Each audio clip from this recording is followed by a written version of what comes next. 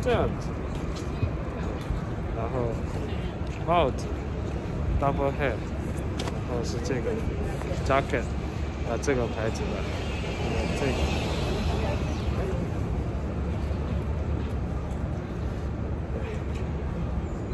Okay, today I'm showing the video about how to dress warm at winter time, especially when you're riding a bike or scooter or e-scooter because you are actually not moving. You depend on the motor to bring you. So uh, the wind will bring a lot of heat away from your body. So you need a bodega, very nice bodega. That's for the uh, uh, skiing and also double double head and also with the helmet on top and also the uh, uh, down jacket make sure it's a 550 or above like 70 or 880 so the thicker the better and the double pen. Okay? And also the steel tube. This one. Just in case you don't get crushed you know. Uh, so that way if you crush your feet is okay. And the double pen did i mention that? And you're good to go. Also the glove. Now the temperature is not that low but the wind is windy. So maybe later on maybe on january uh, during the winter time um, you need a glove make sure that's uh how is it okay let's go. Uh, winter riding with the Ninebot ES4 by Segway.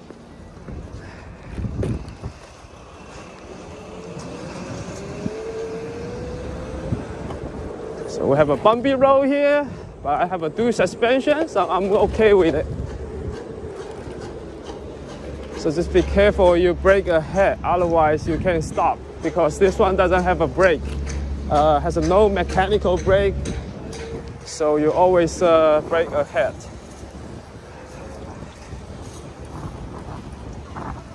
For winter, I'm doing a delivery for this one uh, using the uh, e-scooter before I'm using the e-bike, but now I'm travel on bus, so I gotta make sure my electronic vehicle or e-bike I can bring it on the bus.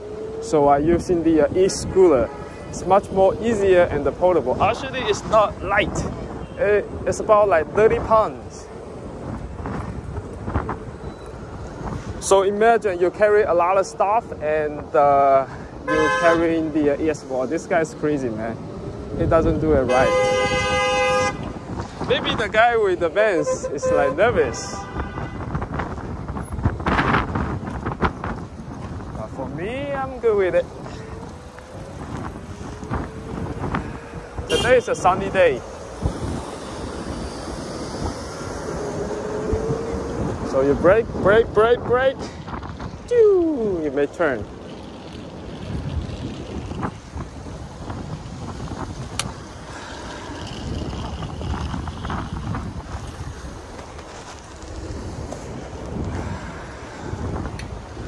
Let's go guys, we have a downhill now. Just make sure you see ahead.